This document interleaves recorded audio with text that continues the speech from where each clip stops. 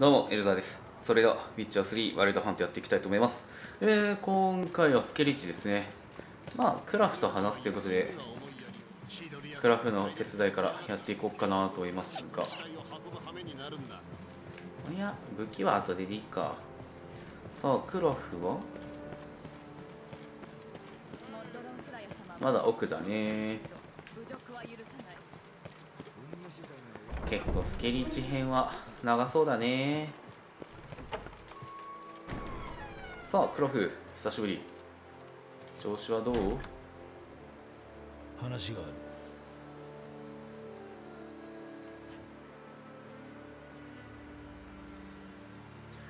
そうだね。まあとりあえずワイルドハントとの戦いに協力してほしい。厄介事だが頼みがある。力を借りたい聞かせてくれ。シリの居場所が分かっただがシリと会えばすぐにワイルドハントがそのことを知るだろう。奴らは俺たちを追い襲ってくる。もう戦うしかない。手を貸してくれるか。黒の軍団の次は勇気どもか。それが俺の人生らしい。よしシリを連れてこい。戦争だ。マジかニルフガードといった戦うのはケイアモル編でだけだ。お前の兵を危険にさらすことはできない。ケイアモル編で戦う他の場所ではダメだ。ケイアモル編は何百里も離れてる。兵を移動するだけで何週間もかかるしここがニルフガードに対して無防備になってしまう。ゲラルトすまんそれはできない。そうか。これ以上お前に迷惑はかけられん。それでは。待て。手ぶらでは返さんせめてもの協力をさせてくれ。来い。ほう。やっぱ頼りになるね。素晴らしい職人技だ。いい刀鍛冶がいるようだな。アーレンド・アンクライト王の時代のものだ。アーレンドストーンフィストか。じゃあこれが冬の剣。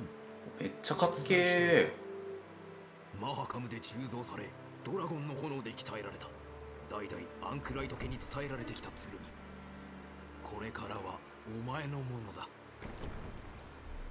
いやーいいえー、いやこれはちょっといくらなんでも。受け取れない。ダメだ。受け取ってくれ。これぐらいはさせてくれ。そう言うならありがと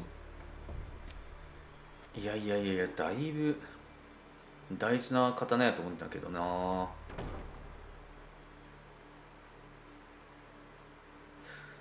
まあそれだけ大事に思ってくれてるってことやね。もをあの世へ追い返してやれそのつもりだ。じゃあな。さあ千遊スキリッチと。そしたら他のを済ませるか。えーと冬の剣だね。見てみますか。冬の剣。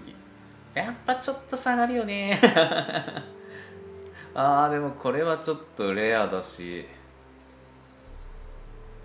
必要レベル18か。意外と。そんな高くなかったね。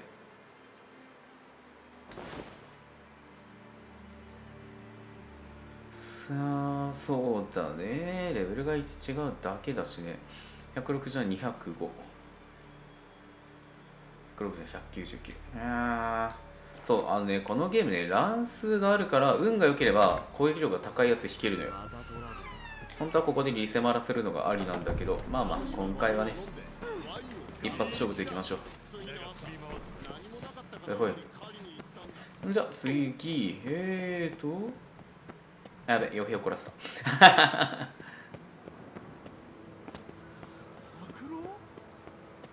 さあ、次はエルミオンと話すか。エルミオンのところまでちょっと飛んでいきましょうかね。近ければいいんだけど。さあ、エルミオンは、こっちだね。えーと、廃棄された製材所から行きますか。さあ飛んできましたあここはあれかレーシェントエンシェンが出たところか。あいつ強かったな。相変わらず燃やしたけどね。えーとそしたらこっちか。120ぐらいあるか距離的に。どっち？来た。いい。いやスケリッチはなんだかんだ久しぶりだな。来るの。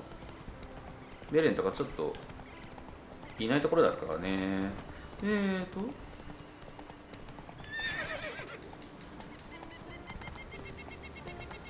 えらくえらく変な道を上のルートは通らせるな。えーとここ行って。ちょっと待った。なんかある。これは気になる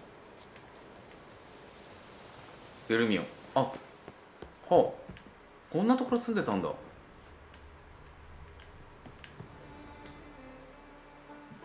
話せるか？ああえーとワイルドハントとの戦いに協力してほしい。あでも怒らせたからな。前回ね力を貸してほしいワイルドハントがではシリを見つけたんだな。居場所は分かった。見つけたらワイルドハントにも知られるだろう。なるほど。すぐに準備する。遅くとも明日には出発しよう。感謝する。マジかこの手であの子を育てたんだからな。ケイやモルヘンで会おう。マジかありがとう。あんだけね怒らせたのに。いや優しいおじいちゃんやったね。塵の育ての親といったところか。えーとこれで次が決まったと。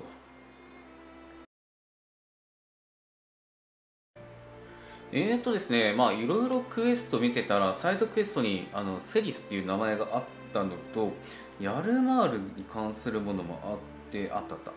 これ、えー、アドビックと駅。あこの2つを終えてしまえばいけそうなんでちょっとこのクエストしていきたいなと思います、えちょっと飛んできました。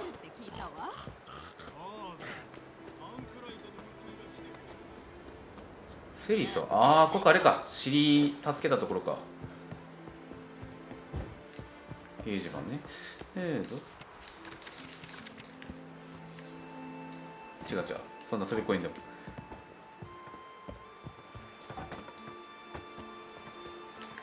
ニールズシスえーと上か意外と。遠回りをああ懐かしいね。回想で見たところか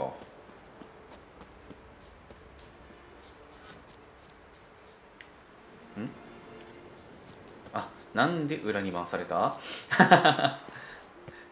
家の中でいいじゃん。えーと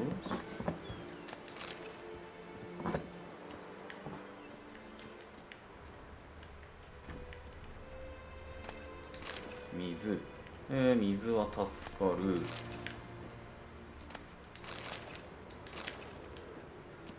さあここにいるかな？夜と。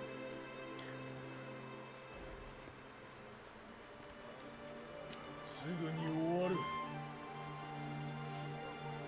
その時巨大な海蛇が泳いできて俺の腕を噛み切った。犠牲が必要だという神のおぼし飯だ。族長が蛇を倒す話だと思ってましたが。違う。神は犠牲を要求した。つまり時が来たのだ。もっと明らかな兆しを待つべきです。せめて次の夢までは。これ以上の兆しは必要ない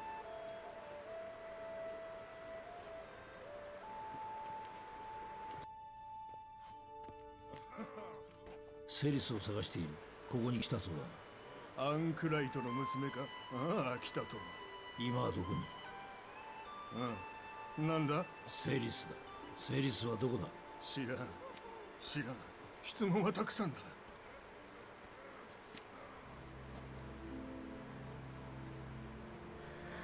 あのとこに何があったのか？セリスの居場所？知ってるかな？セリスを探してる。居場所に心当たりは？村へ行ったはずだここに来たのはしばらく前の話だ。住民と話をしたかったようだだが、うーん？なウダルリック族長の旧宅へ行ったのかもしれない。引き止めはしたのだが。ブロックバル一族はアンクライトに隠し事をしてるのか？違う。奇妙な家なんだ。幽霊屋敷だと言われてる。いいさ。幽霊屋敷は大好きだ。だがなぜセリスはそこへ？出発する前に族長と長話をしていた族長を助けようとしていたようだ。どんな風に？失礼。行かなくては。幸先がいいな。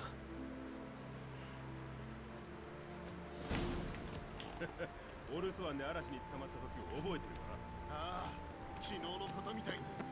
オフガンが船から落ちて溺れ死にかけた。ウダルリック族長まあとりあえず近く186遠いな。ちょっと待った。下手したらいやそんなに離れてないか。よしよし。さあローチ。行こうかね。その調子だローチ。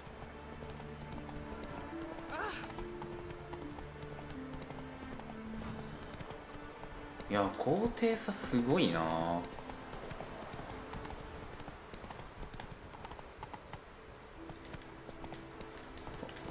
いやローチで行くのめっちゃ大変。ここか。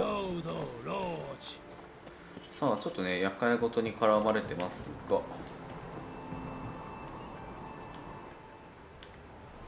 っちが入れる。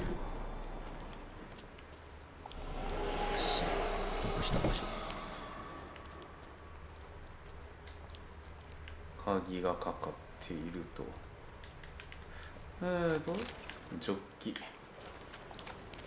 嫌な予感がするな。新しい足跡セレスかもしれんな。さあじゃあ足跡ついていきますか。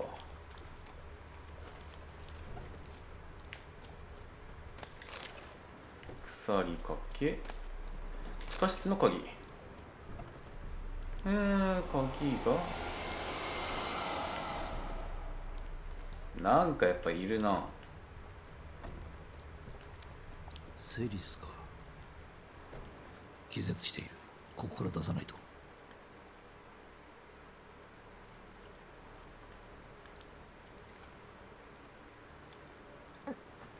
何が起きたの？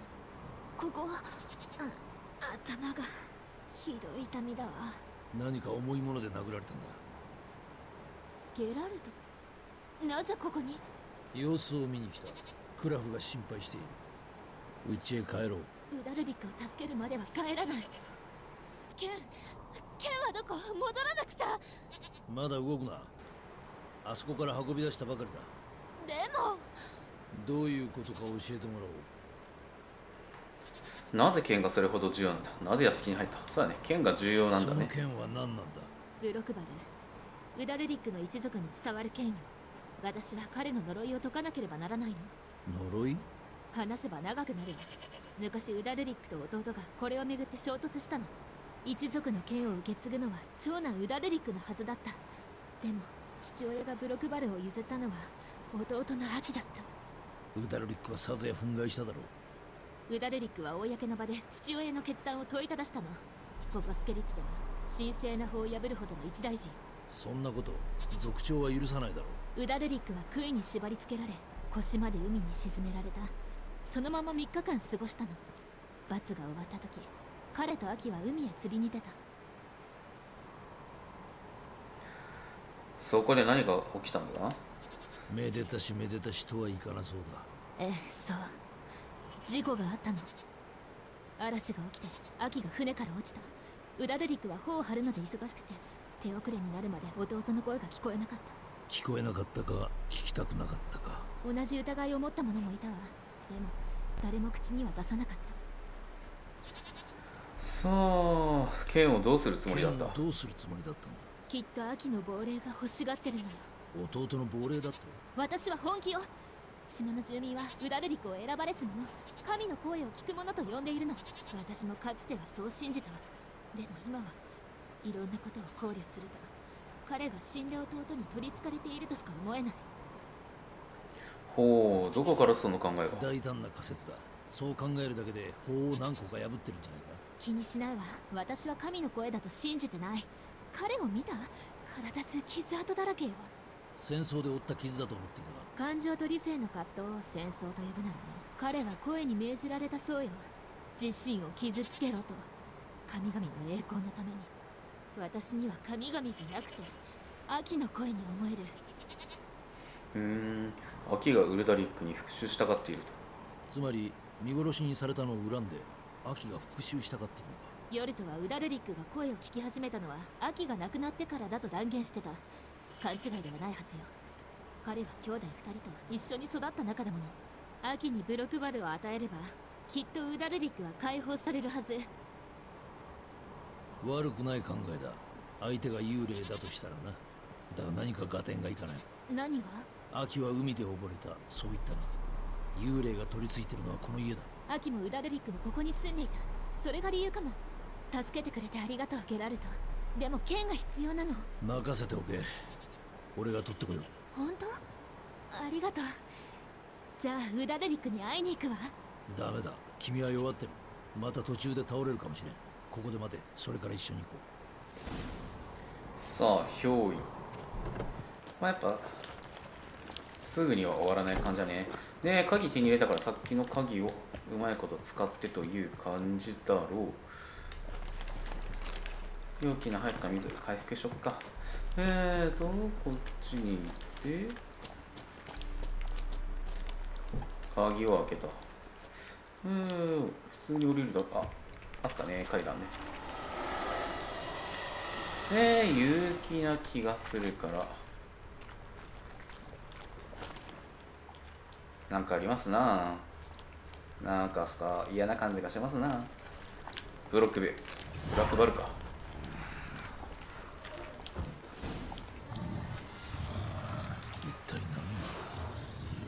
うん確かにね。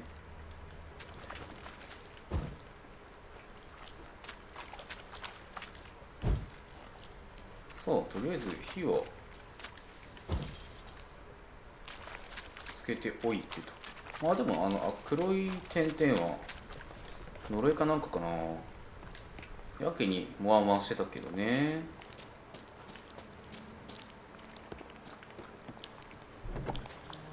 ん？いない。あいたいたいた。それで剣はあった？ああ行こ見つけたぞ。行こじゃあついてくわ。うで気になったのがあやっぱクエスト用だね。なんか装備できるかなとか思ったけど。父さんとは友達だったんでしょう今も友達のつもりだが。でも仲違いしたんでしょ？何か誰かをめぐって。イエネファーのことか？大昔の話さ。クラフが君の母上と出会うよりずっと前のことだ。でもその時にはもうあなたとイエネファーは。まあイエネファーは一筋縄ではいかないからなどんな印象だったの？どこに惹かれたの？さあ多分安心とか安定落ち着きや静けさを求めない俺の性格に合っていたのかえー、気をつける？こういうことちゃんと話すんだね。もなその調子だローチ。よーし。多分上まで行くんだろうね。よし。徒歩の方が何かと。大陸の人と結婚してもよかったけど。早そうやえー、こういて。おイベントやね。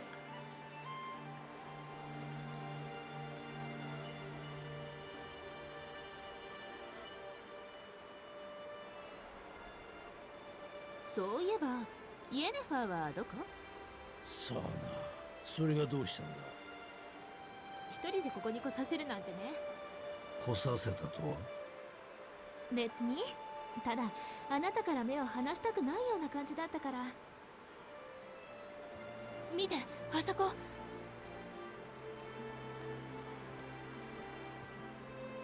ここはひどく明るい。目が痛む。たまにはいいでしょう。神はお喜びにならないだろう。族長客人ですあの声のことだわ。すまないが話が聞こえてしまった。心配するな。秘密ではない。ウダルリック族長に神々の声が聞こえることは島の全員が知ってるわ。例の声の件についてだが。神々だ。彼らの声だ。声には弟が関係している。それは神々のものではない。こっちはね弟は関係している。亡くなった弟君に関係している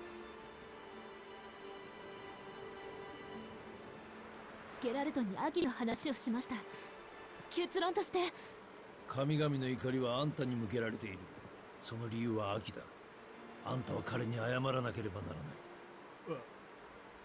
い。わざとじゃない。秋は海に落ちたんだ。神々がお怒りになる。神々はそれほど非常なのか。恐れるな。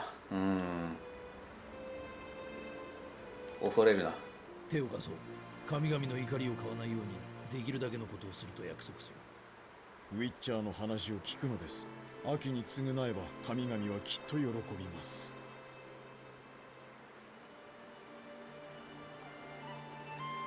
何をしてほしいんだ？秋が落ちた場所を覚えているか。島の東入り江のそばだ。俺たちはウルラの針の方に流された危険な場所だ。不安定な渦が幾人もの船乗りを飲み込んだ。そこへ行く。秋の亡霊は亡骸へブロクバルの剣を返すまで安らぐことはない。ダメだ。ダメだ。ダメだ。神々がお怒りになる。そう感じる。恐れてはダメです。神々はあなたを愛し秋を愛した。これが正しき道です。俺が言ってもいい。剣を返すこと。それが重要なんだ誰の手で返すかは関係ない。目印は秋は彼だと分かる何かを持っていたか海底に残り続けるものを身につけていたか。ああ一族の指輪だ。それで十分だ。さあそれでは代わりに返しに行きますか。まあねこういう時はあれなんだろうね血族やったらいろいろ大変なんだろうね部族的なものはね、じゃあ船を借りていきますか。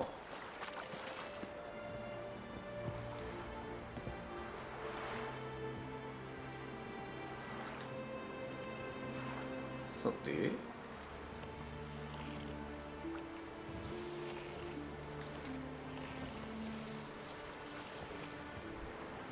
まあ、渦がすごいみたいな話だったけどまあ敵と戦うことはないだろうなとは思ってるんだけど。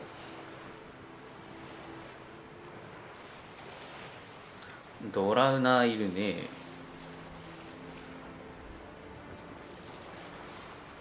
あ誰か漂流してるね。隠された財宝。えーとこの辺りかな。メダルが動くかな。泳ぎに行きますか。えーと何か近くにいるのは間違いないか。さあ潜るか。いた。なんかあったね。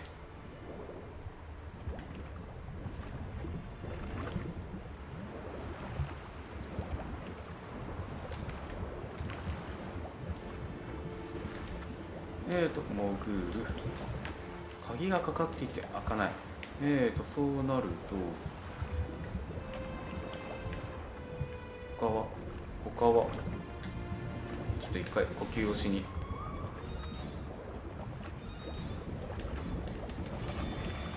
さあ水の中での戦闘はちょっと厄介だね。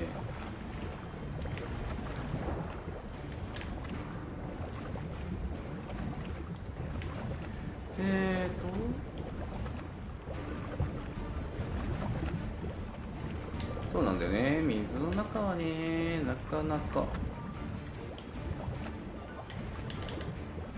銭湯むずいのよね。いやにしてもこれ探すめっちゃ大変じゃね？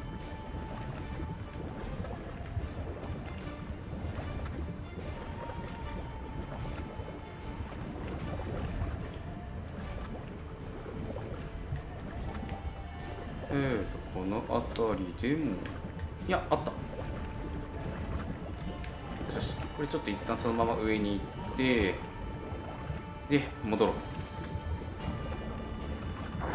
危ない危ない危ない。ギリギリギ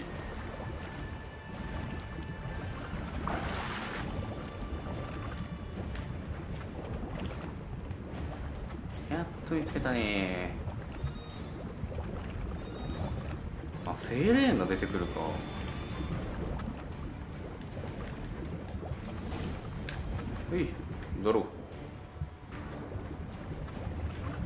水中戦ね。なかなか辛いよね。もどかしいっちゃもどかしいな。さあ。さあ。買いに行きますか。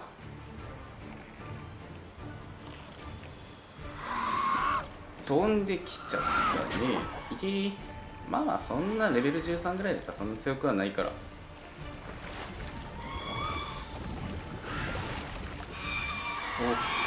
まったく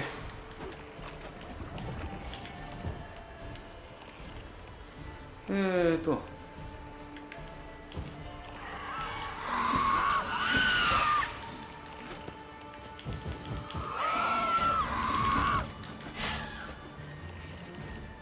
で？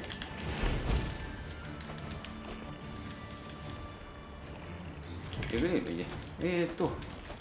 当たんない。意外と当たんない。待たせる気だ。イグリーンの方が楽だ。なあーめんどくさい。めんどくさい。あーめんどくさい。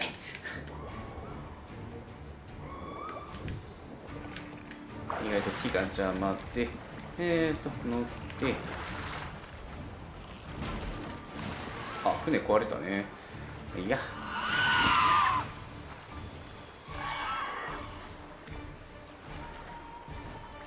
いやえーとここは登れない？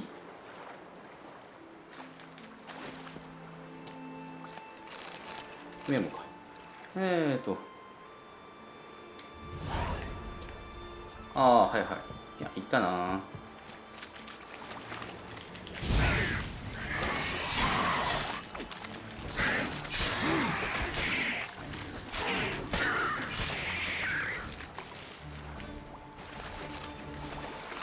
あよこせよこせいえーとこっち行ってえーとちょっと確認。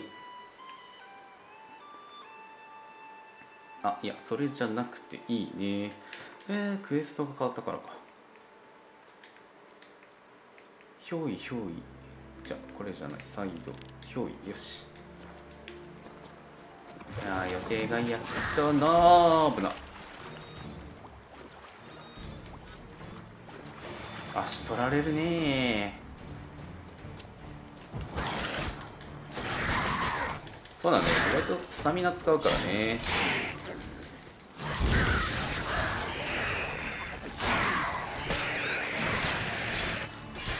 はい。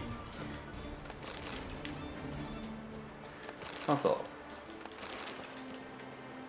戻ろう。まったく大変やったわ。えー、ローチ読んで一気に戻れるかな？これローチ。うい。もっと早く。さあ行き行き。いやー水中戦なんか方法ないかな。おお気をつけて。ああなんかあったね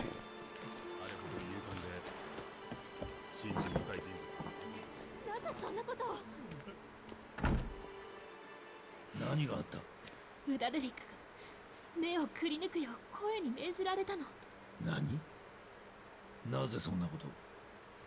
それが神々のご意志だった。秋に捧げよと。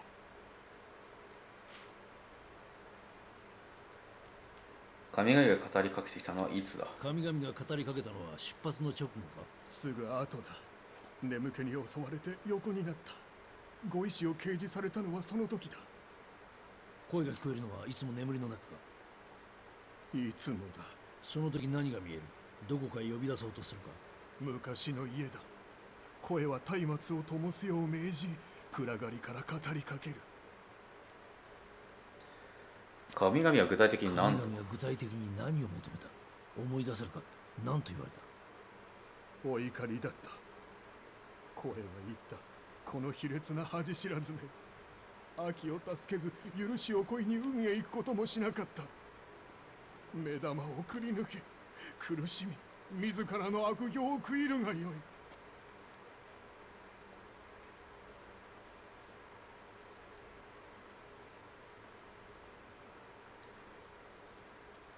い。いつも痛みを捧げると命じるのか神々は光が苦手なのかこっちはね痛みだね。いつも苦痛を捧げろと命じるのか？ああ神々は何度もお求めになる。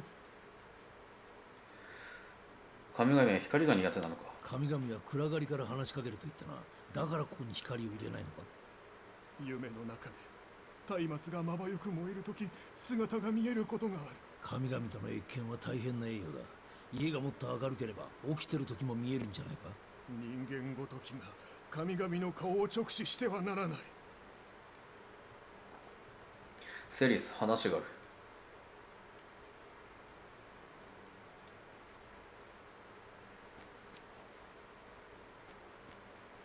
剣を返したが何も変化がない。彼に取り付き苦しめているのは弟の亡霊じゃない。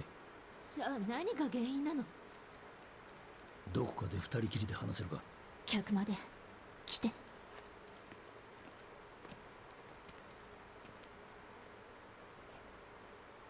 あもうすでにやね。それで分かったの？ヒムだ。天体の豪の後に生まれた怪物でめったに見かけない危険なやつだ。悪行を働く者に寄生する。何年にもわたって苦しみを餌にし両親の呵責を煽る。最後には宿主に自らの体を壊させる。なんて怪物なの。倒す方法は？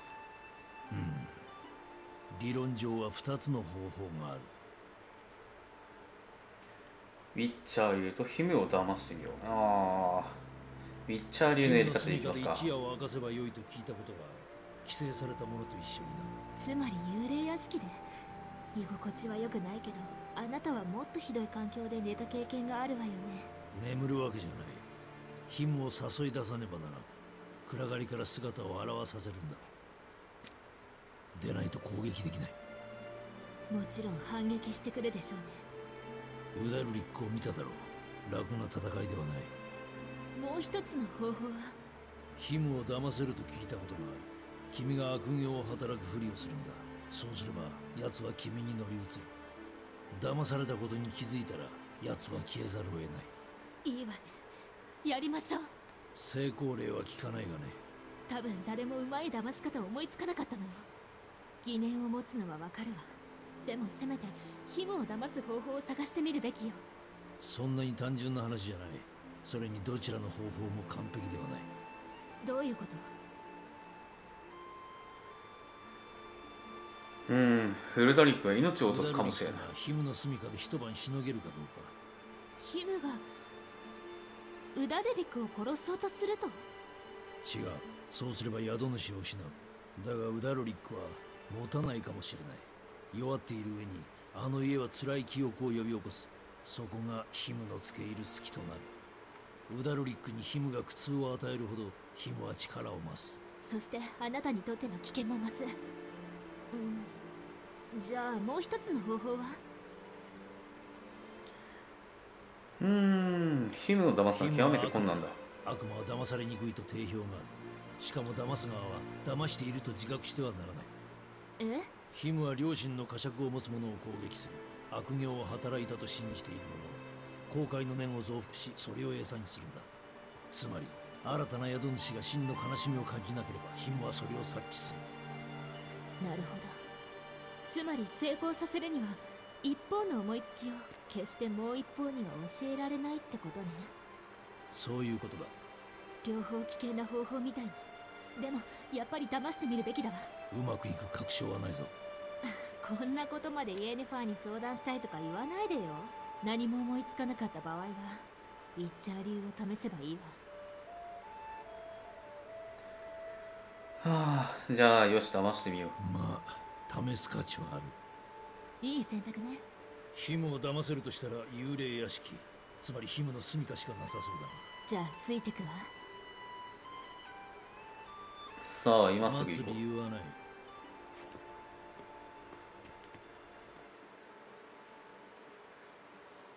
さあヒムという勇気になるのかなこの場合はね。悪魔って言ってたけどどんな姿なのか。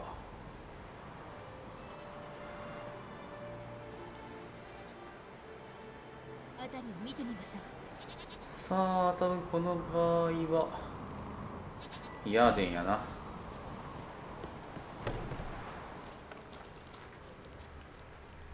まあ地下だろう降りないねなかなか。さてとりあえず火には弱そうだから火はつけといて。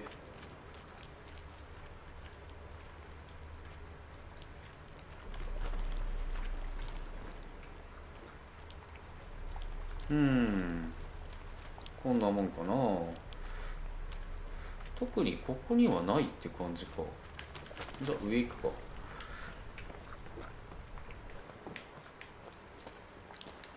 なんかそこが赤い。おう確かな。んだこれ。職人はきっと大陸出身者だ。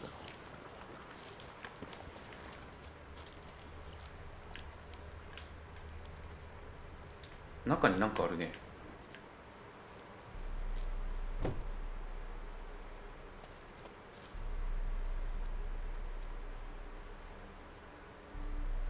シリ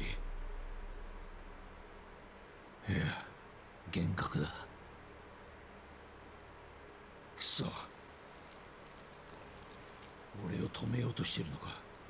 つまり俺を恐れてるわけだ。なるほど。まさかねここでシリが出るとはちょっと思いもしなかったけど。えーとそのアイテムは何かな？ウダルリックが自分の後ろに化け物が映るのを恐れたか。さあこの板は？足の骨を折りかねいや首の骨か。さあまだ何か謎解きができそうだけど。古いゆりかごウダルリックと秋のものだな。あの赤ちゃんがちょっと肝になるんじゃないかな。いたよね。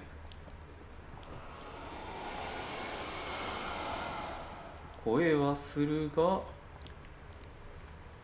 ていう感じか。いい考えが。いい考え外か。まさか燃やす？そんなことないよね。ええ考えがある。成功しそうなやつ。詳しく聞けるか？ここで待っててすぐに戻るわ。何か他には？言ってたじゃない。詳しく知ってはダメだって。だから他に何も言えない。ただ信用して。そうか信用すうるか。まくいくことを祈る。私も。始めましょうか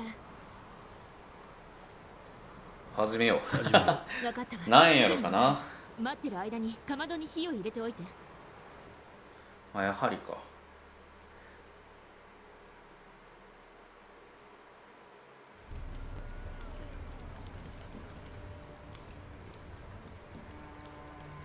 いたぞ。奴は旧宅の方に向かった。捕まえろ。まさか その子をかまどに入れるのよ。信頼して。その子を傷つけるな。子供を返せ。かまどよ。その子をかまどに入れて。はい分かったかまどに入れます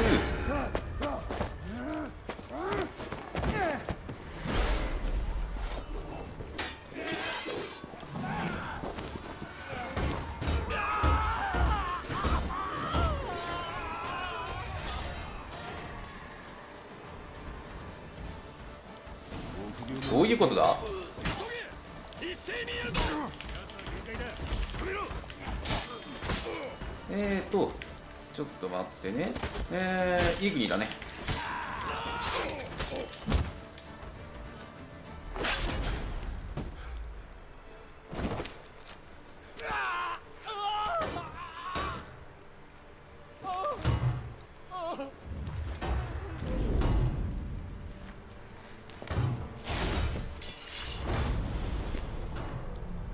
なるほど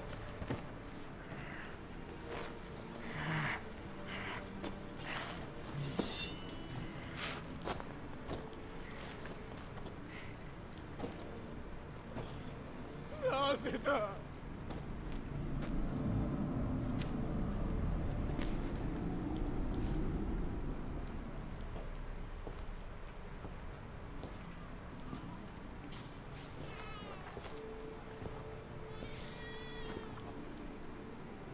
アキ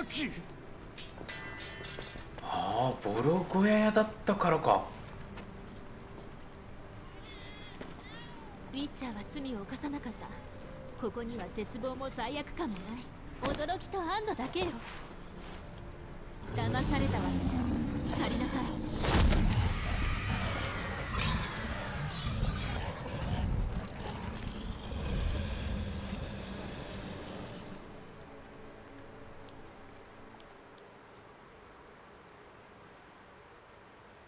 終わりだ。終わったのか。奴は俺がお前の子を殺したと思い込み俺の罪悪感を食うために取り憑こうとした。でも赤ん坊が無事だと分かって消えるしかなかった。自由になったのよ。自由。ヒムは去った。お前を苦しめた声もここから出よ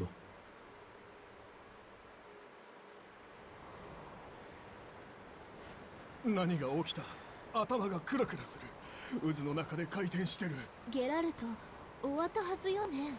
疲れただけだ。じきに彼の心は元通りになる。これからどうすれば？うーん。きっと自分を取り戻せる。大丈夫だ。自己憐憫に浸らないことが肝心だ。まるで何かを引き剥がされたようだ。それでいい。ヒムは寄生生物だ。寄生生物と宿主の結合が強い場合もある。だから今は空虚に感じるんだ。数日か数週間もすれば元気になる。ウィッチャーよ。感謝する。それでは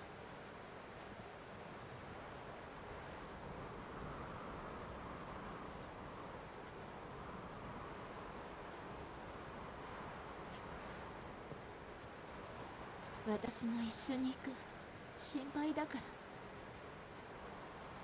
これからどうするんだ？これからどうするんだ？しばらくいて彼の様子を見るわ。あなたはスピカローグに残るの？まだわからない。考えをまとめなければ。きっとイエネファーがやきもきしてるわ。どうしてイエネハを気にするんだ？君とイエネファーは何なんだ？もう数回彼女の名を口にした。別に？二人はよく気が合うって思っただけ。尻に敷かれているとでも？あなたが特別ってわけじゃないわ。男はみんなそうみたい。荒っぽいスケリッチ男勇敢な騎士屈強なウィッチャー。結局みんな女の手の上よ。でもあなたは立派だと思うわ。私を信じてくれたもの。ほとんど初対面なのに。心が広いもの島の者にはその話をしないでくれ。言いなりになるのが好きだと思われてしまう さよならゲラルトそれではな。さあセリスの居場所は取ってできたと。レベル22上がったね。久しぶり。レベルなかなか上がらんかったからね。でえーとそうだね。結構キルも良くなってきたんで。でサイドがねあとはどれかなアドビクのアンドビクの主か。これをね多分しないとヤルマールの探すのがクリアにならないんでヤルマールの遠征を手伝ってアンドビークの巨人を倒すと。巨人戦ですね次。本当巨人出るのかな？ちょっと心配なところではあるけどちょっと楽しみにしますか。お新しいアイテムゲットしたね。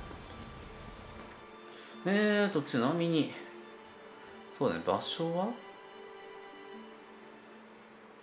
離れてるねカジキ海岸と。こちらまで行かないといけないか。えー、そしたら今回はここまでにしましょう。霧がいいんでね。次回はアンドビクの主っていうのをやっていきたいなと思います。多分カジキ海岸とかそこまで一旦飛んでスタートするかなと思いますのでそちらも楽しみにしておいてください。ということで、えーここまでご視聴ありがとうございました。よければチャンネル登録高評価もよろしくお願いいたします。それではまた次回お会いしましょう。ほんじゃあまたな。